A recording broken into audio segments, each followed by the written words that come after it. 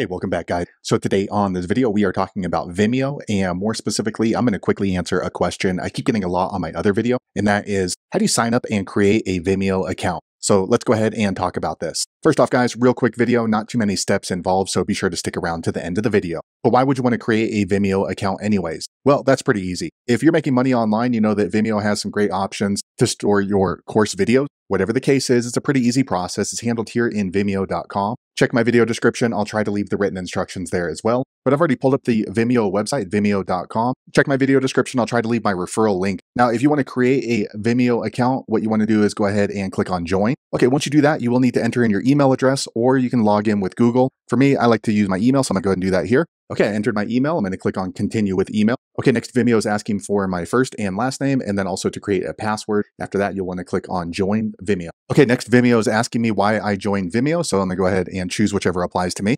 Next I'm going to click on continue. Okay, next it brings me to my Vimeo dashboard. It also goes over the different pricing that's available. So they do have a free account, which is what I just signed up for. And then they also have the starter, standard, and advanced. So that's really going to depend on how many seats and then how much storage you're going to need. So let me close this out. Okay, so here we are in the dashboard. So I can go ahead and start uploading my videos into Vimeo or creating Vimeos. So there you have it, guys. If you're wondering how to create or sign up for a Vimeo account, that's the easiest way I know how to do it. If you know an easier way, be sure to leave a comment below. Let the rest of us know how you did it. Hopefully you found that video useful. If so, click thumbs up or maybe consider subscribing to my channel and I hope to see you on the next video. Thanks again for watching.